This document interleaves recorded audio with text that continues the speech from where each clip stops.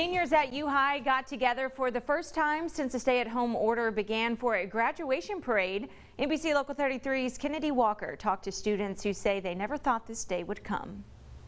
This is awesome seeing all these parents and even students come out here and support us. Honking rang out for miles as hundreds of families gathered to celebrate their high school graduates. I think it's exciting to have something to celebrate the moment. She's a resilient person, they're a resilient class, and it's a special day. Seniors at U High came together for a parade Thursday. It was the first time the class of 2020 has been together in months. It's really special. Not a lot of seniors get to, you know, do this just with the circumstances and stuff. I'm really grateful that they are throwing this for us and trying to make it really special based on the circumstances. Graduates lined the sidewalks of LSU while loved ones stayed in their cars and cheered for them. It feels great knowing all the support that we're getting from the school and our parents and families because we've been going through rough times this semester. Students were told they were going to have a commencement ceremony in August, but it wasn't until this week when the administration surprised them with this early celebration.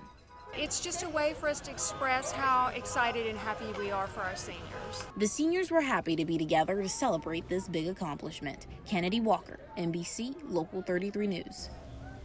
Now, U High plans to have an in-person graduation ceremony on August 8th. And